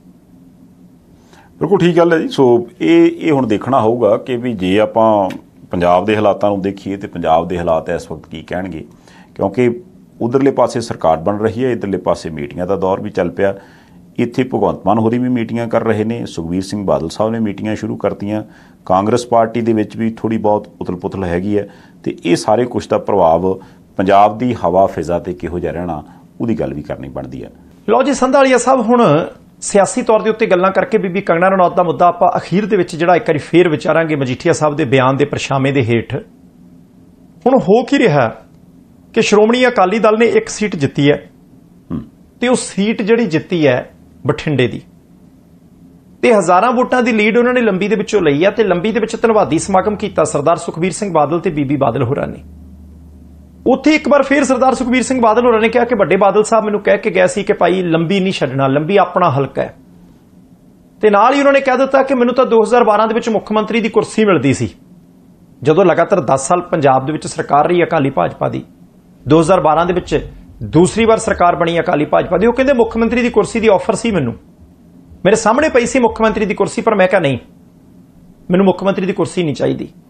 ਉਹ ਕਹਿੰਦੇ, ਮੈਂ ਤਾਂ ਉਦੋਂ ਤਿਆਗ ਦਿੱਤੀ ਸੀ 12 ਸਾਲ ਪਹਿਲਾਂ ਮੁੱਖ ਮੰਤਰੀ, ਕੋਈ ਸੱਤਾ ਦੀ ਭੁੱਖ ਨਹੀਂ, ਕੁਰਸੀ ਦਾ ਲਾਲਚ ਨਹੀਂ ਹੈ, ਲੋਕਾਂ ਦੀ ਸੇਵਾ ਕਰਨੀ ਹੈ, ਪੰਜਾਬ ਪੱਖੀ ਇੱਕ ਪਾਰਟੀ ਹੈ, ਉਹ ਸ਼੍ਰੋਮਣੀ ਅਕਾਲੀ ਦਲ ਹੈ, ਤੇ ਉਹੀ ਪੰਜਾਬ ਨੂੰ ਬਚਾ ਸਕਦੀ ਹੈ। ਮੈਂ ਤਾਂ ਉਹਦੇ ਲਈ ਦਿਨ ਰਾਤ ਇੱਕ ਕੀਤਾ ਹੋਇਆ।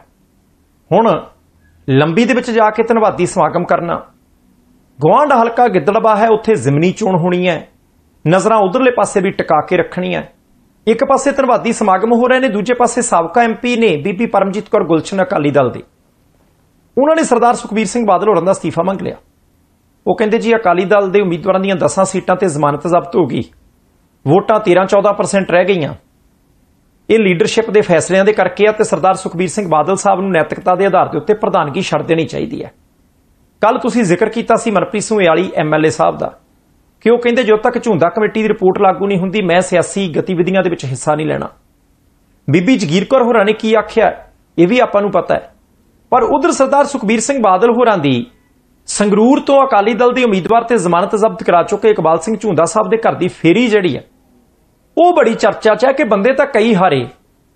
ਪਰ ਝੁੰਦਾ ਸਾਹਿਬ ਦੇ ਘਰੇ ਕਿਉਂ ਗਏ? ਕੀ ਇਹਦਾ ਇਆਲੀ ਸਾਹਿਬ ਦੇ ਬਿਆਨ ਦੇ ਨਾਲ ਕੋਈ ਸੰਪਰਕ, ਕੋਈ ਵਾਸਤਾ ਤਾਂ ਨਹੀਂ? ਅਕਾਲੀ ਸਿਆਸਤ ਵਿੱਚ ਉਬਾਲ ਆਉਣ ਦੀ ਸੰਭਾਵਨਾ ਹੈ। ਇਹ ਵਾਕਈ ਬੜੀ ਹੈਰਾਨੀ ਵਾਲੀ ਗੱਲ ਹੈ ਕਿ ਇਕਬਾਲ ਸਿੰਘ ਝੁੰਦਾ ਹੋਰਾਂ ਦੇ ਘਰ ਜਾਂਦੇ ਨੇ ਸੁਖਵੀਰ ਸਿੰਘ ਬਾਦਲ ਸਾਹਿਬ। ਉੱਥੇ ਤੁਸੀਂ ਦੇਖੋ ਗੱਲਬਾਤ ਤੋਂ ਬਾਅਦ ਜਿਹੜਾ ਝੁੰਦਾ ਸਾਹਿਬ ਦਾ ਬਿਆਨ ਸੀ, ਉਹਦੇ ਚ ਜਿੱਦਾਂ ਉਹਨਾਂ ਨੇ ਕਿਹਾ ਕਿ ਵੀ ਬਹੁਤ ਮਿਹਨਤ ਕੀਤੀ ਹੈ ਪ੍ਰਧਾਨ ਜੀ ਨੇ ਜਾਂ ਅਕਾਲੀ ਦਲ ਨੂੰ ਦੁਬਾਰਾ ਮੁੜ ਪੈਰਾਂ ਸਿਰ ਕਰਨ ਦੇ ਲਈ।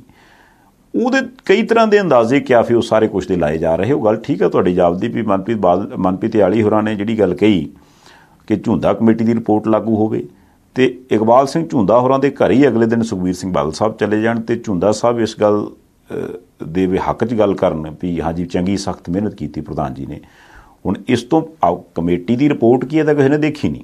ਹਾਲਾਂਕਿ ਜਿਹੜੇ ਕੁਝ ਕਹਿ ਲੋ ਕਿ ਵੀ ਨਾਰਾਜ਼ ਹੋਏ ਅਕਾਲੀ ਲੀਡਰ ਸੀ, ਉਹ ਜ਼ਰੂਰ ਕਹਿੰਦੇ ਸੀ ਵੀ ਝੁੰਦਾ ਕਮੇਟੀ ਦੀਆਂ ਸਿਫਾਰਸ਼ਾਂ ਦੇ ਵਿੱਚ ਪ੍ਰਧਾਨਗੀ ਜਿਹੜੀ ਹੈ ਜੀ, ਉਹ ਬਦਲਣ ਦੀ ਗੱਲ ਚੱਲਦੀ। ਪਰ ਜੇ ਉਹ ਪ੍ਰਧਾਨਗੀ ਬਦਲਣ ਦੀ ਗੱਲ ਚੱਲਦੀ ਸੀ, ਉਸ ਤੋਂ ਬਾਅਦ ਝੁੰਦਾ ਕਮੇਟੀ ਦੀ ਰਿਪੋਰਟ ਕਿਉਂ ਨਹੀਂ ਲਾਗੂ ਹੋਈ? ਇਹ ਵੀ ਸਵਾਲ ਹੈ। ਜਿਹੜੇ ਕਹਿੰਦੇ ਨੇ ਝੁੰਦਾ ਕਮੇਟੀ ਦੀ ਰਿਪੋਰਟ ਲਾਗੂ ਕਰੋ, ਉਸ ਪ੍ਰੈਸ਼ਰ ਦਬਾਅ ਦੇ ਵਿੱਚ ਕੀ ਸੁਖਬੀਰ ਸਿੰਘ ਬਾਲ ਸਾਹਿਬ, ਇਕਬਾਲ ਸਿੰਘ ਝੁੰਦਾ ਹੋਰਾਂ ਦੇ ਘਰ ਜਾਂਦੇ ਨੇ? ਇਹ ਆਪਸ ਦੇ ਵਿੱਚ ਇੱਕ ਐਸੀ ਗੁੰਝਲ ਬਣ ਗਈ ਹੈ ਵੀ ਜਿਹੜੀ ਮੇਰਾ ਖਿਆਲ ਆਉਣ ਵਾਲੇ ਦਿਨਾਂ ਦੇ ਵਿੱਚ ਛੇਤੀ ਖੁੱਲਣੀ ਨਹੀਂ।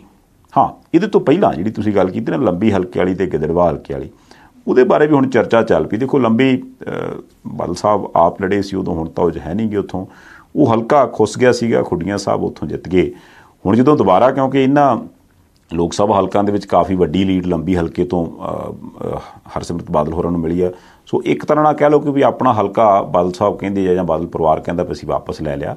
ਪਰ ਨਾਲ ਨਾਲ ਚਰਚਾ ਇਹ ਵੀ ਚੱਲਦੀ ਹੈ ਗਿੱਦੜਵਾ ਹਲਕੇ ਦੀ ਵੀ ਕਿਉਂਕਿ ਗਿੱਦੜਵਾ ਹਲਕਾ ਹੁਣ ਖਾਲੀ ਹੋ ਗਿਆ ਤੇ ਕਿਤੇ ਇਦਾਂ ਤੇ ਨਹੀਂ ਕਿ ਹੁਣ ਸੁਖਬੀਰ ਸਿੰਘ ਬਾਦਲ ਸਾਹਿਬ, ਕਿਉਂਕਿ ਐਮਪੀ ਉਹ ਲੜੇ ਨਹੀਂ, ਤੇ ਇਧਰੋਂ ਐਮਐਲਏ ਉਹ ਪਹਿਲਾਂ ਹਾਰ ਗਏ ਸੀ, ਤੇ ਦੁਬਾਰਾ ਪੰਜਾਬ ਵਿਧਾਨ ਸਭਾ ਦੇ ਵਿੱਚ ਵੀ ਮੰਨ ਲਓ ਐਂਟਰੀ ਕਰ ਲੈਂਦੇ ਨੇ ਉਹ ਗਿੱਦੜਵਾ ਹਲਕੇ ਤੋਂ, ਤੇ ਆਉਂਦੇ ਸਮੇਂ ਦੇ ਵਿੱਚ, ਪਿਛਲੇ ਸਮੇਂ 'ਚ ਆਪਾਂ ਦੇਖਦੇ ਰਹੇ ਹਾਂ ਕਿ ਜਦੋਂ ਅਕਾਲੀ ਦਲ ਦੀ ਉੱਥੇ ਗੱਲ ਚੱਲਦੀ ਹੁੰਦੀ ਸੀ ਤੇ ਤਿੰਨ ਹੀ ਉੱਥੇ ਕਿਉਂਕਿ ਐਮਐਲਏ ਹੁੰਦੇ ਸੀ, ਉਹਦੇ ਚੋਂ ਇਹ ਆਲੀ ਸਾਹਿਬ ਥੋੜੇ ਜਿਹੇ ਪਾਸੇ ਹੋ ਜਾਂਦੇ ਸੀ ਤੇ ਬੀਬੀ ਜੀ ਮਜੀਠੀ ਵਾਲੇ ਉਹ ਘੱਟ ਆਉਂਦੇ ਸੀ ਜਾਂ ਘੱਟ ਬੋਲਦੇ ਸੀ। ਤੋਂ ਮੇਰਾ ਖਿਆਲ ਡਾਕਟਰ ਸੁਖੀ ਹੋਰੀ ਰਹਿ ਜਾਂਦੇ ਸੀ ਇਕੱਲੇ ਗੱਲ ਕਰਨ ਵਾਲੇ। ਹੋ ਸਕਦਾ ਜੇ ਮੰਨ ਲਓ ਜਿੱਦਾਂ ਉਹਨਾਂ ਨੇ ਕਿਹਾ ਬਾਦਲ ਸਾਹਿਬ ਨੇ ਵੀ ਆਪਾਂ ਹੁਣ ਆਉਂਦੀਆਂ ਚੋਣਾਂ ਦੀ ਤਿਆਰੀ ਕਰ ਲਈਏ, ਤੇ ਇਹਨਾਂ ਜ਼ਿਮਨੀ ਚੋਣਾਂ ਦੇ ਵਿੱਚੋਂ ਜੇ ਕਿਤੇ ਗਿੱਦੜਬਾਹੋਂ ਸਰਦਾਰ ਸੁਖਬੀਰ ਸਿੰਘ ਬਾਦਲ ਲੜ ਪੈਂਦੇ ਆ, ਜੇ ਉਹ ਸੀਟ ਕੱਢ ਵੀ ਜਾਂਦੇ ਆ, ਤੇ ਆਉਂਦੇ 3 ਸਾਲ ਫਿਰ ਜਿੱਦਾਂ ਆਪਾਂ ਪਿਛਲੇ ਸਮੇਂ 'ਚ ਵਿਧਾਨ ਸਭਾ ਦੀ ਲਾਈਵ ਕਾਰਵਾਈ 'ਚ ਮੌਦਰੋਂ ਬਾਜਵਾ ਸਾਹਿਬ ਦਾ ਪੇਚਾ ਪੈਂਦੇ ਵੇਖਦੇ ਰਹੇ ਆ ਮੁੱਖ ਮੰਤਰੀ ਸਾਹਿਬ ਨਾਲ ਫਿਰ ਆਉਣ ਵਾਲੇ ਦਿਨਾਂ 'ਚ ਹੋ ਸਕਦਾ ਸੁਖਬੀਰ ਸਿੰਘ ਬਾਦਲ ਸਾਹਿਬ ਦਾ ਵੀ ਪੇਚਾ ਪਿਆ ਕਰੇ। ਇੱਥੇ ਨਾ ਸੰਧਾਲੀਆ ਸਾਹਿਬ ਇੱਕ ਚੀਜ਼ ਬਹੁਤ ਧਿਆਨ ਰੱਖਣ ਵਾਲੀ ਹੈ। ਐਸੇ ਸਾਲ ਹੋਣੀਆਂ ਜ਼ਿਮਨੀ ਚੋਣਾਂ ਕਿਉਂਕਿ 6 ਮਹੀਨੇ ਦੇ ਅੰਦਰ ਅੰਦਰ ਕਰਾਉਣੀਆਂ ਹੁੰਦੀਆਂ। ਜੂਨ ਚੱਲਦਾ ਨਵੰਬਰ ਤੋਂ ਪਹਿਲਾਂ ਪਹਿਲਾਂ ਇਲੈਕਸ਼ਨ ਹੋ ਜਾਣਗੇ। ਨਵੰਬਰ ਤੋਂ ਪਹਿਲਾਂ ਪਹਿਲਾਂ ਵਿਧਾਨ ਸਭਾ ਚੋਣਾਂ ਦਾ ਅਰਥ ਕੀ? ਤੁਸੀਂ ਗਿੱਦੜਬਾਹਾ ਹਲਕੇ ਨੂੰ ਜੇ ਆਪਾਂ ਥੋੜਾ ਜਿਹਾ ਚੀਰਫਾੜ ਕਰੀਏ ਨਾ ਠੀਕ 29 ਸਾਲ ਪਹਿਲਾਂ 1995 ਦਾ ਉਹ ਵੇਲਾ ਯਾਦ ਕਰੋ। ਜਦੋਂ ਗਿੱਦੜਬਾਹਾ ਦੀ ਸੀਟ ਦੇ ਉੱਤੇ ਜ਼ਿਮਨੀ ਚੋਣ ਹੋਈ ਸੀ, ਕਾਂਗਰਸ ਪਾਰਟੀ ਦੀ ਸਰਕਾਰ ਸੀ, ਅਕਾਲੀ ਦਲ ਜਦੋਜਹਿਦ ਕਰ ਰਿਹਾ ਸੀ 15-20 ਸਾਲ ਦੇ ਅਰਸੇ ਤੋਂ ਬਾਅਦ ਪੰਜਾਬ ਦੇ ਵਿੱਚ ਪੈਰਾਂ ਸਿਰ ਹੋਣ ਦਾ। ਉਦੋਂ ਸਰਦਾਰ ਸੁਖਬੀਰ ਸਿੰਘ ਬਾਦਲ ਸਾਹਿਬ ਦੇ ਪਰਿਵਾਰ ਦੇ ਵਿੱਚੋਂ ਭਰਾ ਮਨਪ੍ਰੀਤ ਸਿੰਘ ਬਾਦਲ ਨੂੰ ਪਹਿਲੀ ਵਾਰੀ ਰਾਜਨੀਤੀ ਦੇ ਵਿੱਚ ਇੰਟਰੋਡਿਊਸ ਕੀਤਾ ਗਿਆ ਸੀ। ਤੇ ਉਹ 2200 ਵੋਟਾਂ ਦੇ ਫ਼ਰਕ ਦੇ ਨਾਲ ਜ਼ਿਮਨੀ ਚੋਣ ਜਿੱਤੇ ਸੀ ਗਿੱਦੜਬਾਹਾ ਦੀ। ਜਿਹਦੇ ਤੋਂ ਦੁਬਾਰਾ ਪੰਜਾਬ ਦੇ ਵਿੱਚ 1997 ਚ ਬਣੀ ਬਾਦਲ ਸਾਹਿਬ ਦੀ ਅਕਾਲੀ ਸਰਕਾਰ ਦਾ ਮੁੱਢ ਵੱਜਿਆ ਸੀ। ਕਿ 29 ਸਾਲ ਬਾਅਦ ਉਸੇ ਇਲਾਕੇ ਦੇ ਵਿੱਚੋਂ ਅਕਾਲੀ ਦਲ ਹਰਿਆ ਹਰਿਆ ਹੋਏਗਾ ਦੁਬਾਰਾ? ਕਿ ਗਿੱਦੜਬਾਹਾ ਤੋਂ ਸਰਦਾਰ ਸੁਖਬੀਰ ਸਿੰਘ ਬਾਦਲ ਦੁਬਾਰਾ ਚੋਣ ਲੜਨਗੇ? ਮੈਂ ਇੱਥੇ ਕਲੀਅਰ ਕਰ ਦਿਆਂ ਕਿ ਆ ਜਿਹੜੀਆਂ ਲੰਗੀਆਂ ਲੋਕ ਸਭਾ ਚੋਣਾਂ ਆ ਨਾ, ਚਾਹੇ ਉਹ ਕਾਂਗਰਸ ਪਾਰਟੀ ਦੇ ਸੂਬਾ ਪ੍ਰਧਾਨ ਅਮਰਿੰਦਰ ਸਿੰਘ ਰਾਜਾ ਵੜਿੰਗ ਹੋਰਾਂ ਦੇ ਵਿਧਾਇਕੀ ਵਾਲਾ ਹਲਕਾ ਸੀ, ਪਰ ਕਾਂਗਰਸ ਪਾਰਟੀ 11000 ਵੋਟਾਂ ਦੇ ਫ਼ਰਕ ਨਾਲ ਪਛੜੀ ਹੈ ਉੱਥੋਂ। ਉਹਦਾ ਮਤਲਬ ਕਿਉਂਕਿ ਰਾਜਾ ਵੜਿੰਗ ਹੋਰੀ ਆ ਨਹੀਂ ਸਕੇ ਬਹੁਤਾ। ਕਿਉਂਕਿ ਉਹ ਤਾਂ ਲੁਧਿਆਣੇ ਆ ਫਸੇ ਹੋਏ ਸੀ, ਉਹਨਾਂ ਦੇ ਹੋ ਸਕਦਾ ਕੁਝ ਸਾਥੀ ਵੀ ਉੱਥੇ ਚਲੇ ਗਏ ਹੋਣ। ਪਰ ਮੁਕਾਬਲਾ ਟੱਕਰ ਦਾ ਹੋਏਗਾ ਤੇ ਇੱਥੇ ਮੈਂ ਇੱਕ ਹੋਰ ਦੱਸਦੇ ਹਾਂ। ਜੇ ਸਰਦਾਰ ਸੁਖਬੀਰ ਸਿੰਘ ਬਾਦਲ ਚੋਣ ਲੜਦੇ ਆ, ਅਕਾਲੀ ਦਲ ਟਿੱਲ ਲਾਊਗਾ। ਹਲਕਾ ਵੀ ਉਹਨਾਂ ਦਾ ਆਪਣਾ। ਮੈਂ ਨਹੀਂ ਕਹਿੰਦਾ ਕੌਣ ਜਿੱਤੇਗਾ, ਕੌਣ ਹਾਰੇਗਾ। ਪਰ ਅਕਾਲੀ ਦਲ ਦਾ ਟੀਚਾ ਇੱਕ ਹੋਰ ਵੀ ਹੋ ਸਕਦਾ ਕਿ ਸਰਦਾਰ ਸੁਖਬੀਰ ਸਿੰਘ ਬਾਦਲ ਜੇ ਵਿਧਾਨ ਸਭਾ 'ਚ ਜਾਂਦੇ ਆ, ਅਜੇ ਤੱਕ ਤਿੰਨ ਮੈਂਬਰੀ ਵਿਧਾਨ ਸਭਾ ਦੇ ਵਿੱਚੋਂ ਅਕਾਲੀ ਦਲ ਦੇ ਵਿਧਾਨਕਾਰ ਦਲ ਦਾ ਨੇਤਾ ਕੌਣ ਹੈ? ਉਹ ਨੇਤਾ ਨੇ ਦਾਖਾ ਹਲਕੇ ਦੇ ਵਿਧਾਇਕ ਮਨਪ੍ਰੀਤ ਸਿੰਘ ਯਾਲੀ ਤੇ ਜੇ ਉੱਥੇ ਸਰਦਾਰ ਸੁਖਬੀਰ ਸਿੰਘ ਬਾਦਲ ਵੀ ਵਿਧਾਨ ਸਭਾ 'ਚ ਪੁੱਜਦੇ ਆ, ਤਾਂ ਭਾਈ ਅਗਲੇ ਉਪ ਮੁੱਖ ਮੰਤਰੀ ਰਹੇ ਆ, ਅਗਲੇ ਕੇਂਦਰ ਸਰਕਾਰ ਦੇ ਵਿੱਚ ਮਿਨਿਸਟਰ ਰਹੇ ਆ, ਫਿਰ ਸੀਨੀਅਰਟੀ ਦੇ ਤੌਰ ਤੇ ਉੱਤੇ ਹੋ ਸਕਦਾ ਕਿ ਅਕਾਲੀ ਦਲ ਦੇ ਵਿਧਾਨਕਾਰਾਂ ਦੀ ਮੀਟਿੰਗ ਕਰਕੇ, ਮੈਨੂੰ ਨਹੀਂ ਪਤਾ ਯਾਲੀ ਸਾਹਿਬ ਕੀ ਕਹਿਣ, ਪਰ ਬੀਬੀ ਗਨੀਵ ਕੌਰ ਮਜੀਠੀਆ ਔਰ ਰਤਾ ਦਰਾਜ ਕੋਈ ਨਹੀਂ ਕਰਨਾ। ਉੱਥੇ ਸੁਖਵਿੰਦਰ ਸਿੰਘ ਸੁਖੀ, ਡਾਕਟਰ ਸਾਹਿਬ ਜਿਹੜੇ ਬੰਗਿਆਂ ਵਾਲੇ ਐਮਐਲਏ ਉਹਨਾਂ ਨੇ ਤਦਰਾਜ ਕੋਈ ਨਹੀਂ ਕਰਨਾ। ਫਿਰ ਹੋ ਸਕਦਾ ਕਿ ਅਕਾਲੀ ਦਲ ਵਿਧਾਨਕਾਰ ਦਲ ਦੇ ਨੇਤਾ ਵੀ ਸਿੱਧੇ ਤੌਰ ਤੇ ਉੱਤੇ ਸਰਦਾਰ ਸੁਖਬੀਰ ਸਿੰਘ ਬਾਦਲ ਹੋਰੀ ਬਣ ਜਾਣ ਜਾਨੀ ਕਈ ਕੁਝ ਘਟੂਗਾ ਤੇ ਕਈ ਕੁਝ ਵਾਪਰੂਗਾ, ਪਰ ਹਾਂ, ਉਹਦੇ ਤੋਂ ਪਹਿਲਾਂ ਢੀਂਡਸਾ ਪਰਿਵਾਰ, ਬੀਬੀ ਪਰਮਜੀਤ ਕੌਰ ਗੁਲਸ਼ਨ, ਸਰਦਾਰ ਸਿਕੰਦਰ ਸਿੰਘ ਮਲੂਕਾ, ਉਧਰ ਪੱਟੀਵਾਲਾ ਕੈਰੋਂ ਪਰਿਵਾਰ, ਹੋਰ ਕਿੰਨੇ ਸੱਜਣਾ ਦੇ ਨਾਂ ਲਏ ਜਾ ਸਕਦੇ ਆ ਜੇ ਮਨਪ੍ਰੀਤ ਸੋਇਆਲੀ ਵੀ ਉਹਨਾਂ ਦੇ ਵਿੱਚੇ ਨੇ, ਕੀ ਉਹ ਇੱਕ ਅਕਾਲੀ ਦਲ ਦੇ ਅੰਦਰ ਗਰੁੱਪ, ਇੱਕ ਟੱਬਰ, ਇੱਕ ਕੁਨਬਾ ਜਾਂ ਤਾਂ ਨਹੀਂ ਕਾਇਮ ਹੋ ਜਾਊਗਾ, ਜਿਹਦੇ ਕਰਕੇ ਥੋੜੀ ਜੀ ਔਖ ਅੰਦਰੋਂ ਹੀ ਮਹਿਸੂਸ ਹੋਵੇ। ਕੋਈ ਸਾਰਾ ਕੁਝ ਕਈ ਤਰ੍ਹਾਂ ਦਾ ਮੈਂ ਤਾਂ ਹੀ ਗੱਲ ਕਹੀ ਨਾ ਵੀ ਇੱਕ ਉਲਝ- ਉਲਝਣ ਹੈ ਇੱਕ ਗੁੰਝਲ ਹੈ ਤੇ ਉਹ ਗੁੰਝਲ ਏਡੀ ਛੇਤੀ ਖੁੱਲਣੀ ਨਹੀਂ। ਹਾਲਾਂਕਿ ਚਲੋ, ਇੱਕ ਪਾਸੇ ਸੁੱਖ ਦਾ ਸਾਹ ਹੈਗਾ ਵੀ ਤਿੰਨ ਸੀਟਾਂ ਦੀ ਜਗ੍ਹਾ ਤੇ ਇਸ ਵਾਰ ਲੋਕ ਸਭਾ ਚੋਣਾਂ ਦੇ ਨਤੀਜਿਆਂ ਦੇ ਹਿਸਾਬ ਨਾਲ ਨੌ ਵਿਧਾਨ ਸਭਾ ਹਲਕੇ ਅਕਾਲੀ ਦਲ ਜਿੱਤ ਗਿਆ ਗਾਂ ਚਾਰ ਪੰਜ ਜ਼ਿਮਨੀ ਚੋਣਾਂ 'ਚ ਫਿਰ ਮੌਕਾ ਮਿਲਣਾ। ਜੇ ਦੋ ਤਿੰਨ ਉੱਥੋਂ ਵੀ ਅਕਾਲੀ ਦਲ ਜਿੱਤ ਗਿਆ ਜਾਂ ਸੁਖਬੀਰ ਸਿੰਘ ਬਾਦਲ ਹੋਰੀ ਜਾਂ ਕੋਈ ਹੋਰ ਵੱਡੇ ਨੇਤਾ ਉਹ ਵੀ ਵਿਧਾਨ ਸਭਾ ਚਲੇ ਜਾਂਦੇ ਨੇ ਤੇ ਫਿਰ ਕਈ ਤਰ੍ਹਾਂ ਦੇ ਨਾਲ ਕਹਿ ਲਓ ਕਿ ਵੀ ਫ਼ਰਕ ਪੈ ਜਾਊਗਾ। ਬਾਕੀ ਜਿੱਦਾਂ ਮੁੱਖ ਮੰਤਰੀ ਸਾਹਿਬ ਦੀ ਆਪਾਂ ਗੱਲ ਕਰੀਏ, ਮੁੱਖ ਮੰਤਰੀ ਸਾਹਿਬ ਨੇ ਮੀਟਿੰਗਾਂ ਦਾ ਦੌਰ ਸ਼ੁਰੂ ਕਰ ਲਿਆ। ਉਹ ਬਠਿੰਡੇ ਤੇ ਫਰੀਦਕੋਟ ਤੋਂ ਵੀ ਲੀਡਰ ਸੱਦੇ ਸੀ। ਹੁਣ ਕਿਉਂਕਿ ਗਾਂ ਸਰਪੰਚੀ ਵੀ ਆਉਣੀਆਂ, ਨਗਰ ਨਿਗਮ ਚੋਣਾਂ ਵੀ ਆਉਣੀਆਂ, ਜ਼ਿਮਨੀ ਚੋਣਾਂ ਵੀ ਆਉਣੀਆਂ, ਪਲੱਸ ਸਭ ਤੋਂ ਵੱਡੀ ਗੱਲ ਇਹ ਵੀ 92 ਐਮਐਲਏ ਉਦੋਂ ਜਿੱਤੇ ਸੀ ਤੇ ਉਸ ਤੋਂ ਬਾਅਦ ਜਾਂ 2 ਸਾਲਾਂ ਦੇ ਵਿੱਚ 33 ਦੇ ਲੈ ਆਉਣ ਪੰਜਾਬ ਦੇ ਲੋਕ ਤੇ ਵੋਟ ਪਰਸੈਂਟੇਜ ਕਾਫੀ ਡਿੱਗ ਪਏ ਥੱਲੇ। ਫਿਰ ਫਿਕਰ ਤੇ ਕਿਤੇ ਨਾ ਕਿਤੇ ਹੁੰਦਾ ਹੀ ਆ, ਸੋ ਫਿਕਰ ਵਾਵਾ ਕੀਤਾ ਜਾਪਦਾ ਭਗਵੰਤ ਮਾਨ ਸਾਹਿਬ ਨੇ। ਦੇਖੋ ਸੰਧਾਲੀਆ ਸਾਹਿਬ ਹੁਣ ਨਹੀਂ ਫਿਕਰ ਕਰਨਾ ਕਿਉਂਕਿ ਫਿਕਰ ਅਸਲ 'ਚ ਲੋਕਾਂ ਨੇ ਕਰਾਇਆ।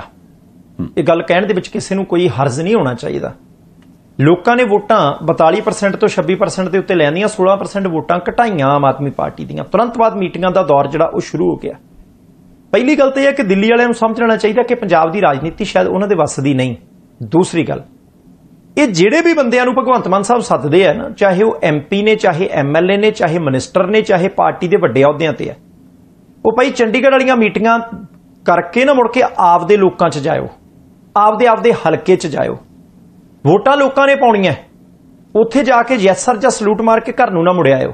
ਲੋਕਾਂ ਦੀ ਆਖਰਕਾਰ ਤੰਗੀ ਕਿੱਥੇ ਹੈ 2 ਸਾਲ ਪਹਿਲਾਂ ਲੋਕਾਂ ਨੇ ਤੁਹਾਨੂੰ ਵੋਟਾਂ ਪਾਈਆਂ, ਨਾਰਾਜ਼ਗੀ ਕਿੱਥੇ ਹੈ ਕਿ ਸਿਸਟਮ ਦੇ ਵਿੱਚ ਸੁਧਾਰ ਦੀ ਜਿੰਨੀ ਕੁ ਆਸ ਲੋਕਾਂ ਨੂੰ ਤੁਹਾਡੇ ਤੋਂ ਸੀ, ਕਿ ਉਹ ਸਿਸਟਮ ਦੇ ਵਿੱਚ ਉਸ ਪੱਧਰ ਤੇ ਸੁਧਾਰ ਨਹੀਂ ਹੋ ਸਕਿਆ? ਕੀ ਕਿਤੇ ਨਾ ਕਿਤੇ ਝੋਲ ਹੈ ਮੈਨੂੰ ਐਂ ਲੱਗਦਾ ਸੰਧਾਲੀਆ ਸਾਹਿਬ ਕਿ ਜਿੰਨਾ ਹੋ ਸਕੇ ਵੱਧ ਤੋਂ ਵੱਧ ਆਪਣੇ ਐਮਐਲਏਸ ਜਿਹੜੇ ਆ ਨਾ ਆਮ ਆਦਮੀ ਪਾਰਟੀ ਨੂੰ ਉਹਨਾਂ ਦੇ ਉੱਤੇ ਚੈੱਕ ਰੱਖਣਾ ਬਹੁਤ ਜ਼ਰੂਰੀ ਹੈ।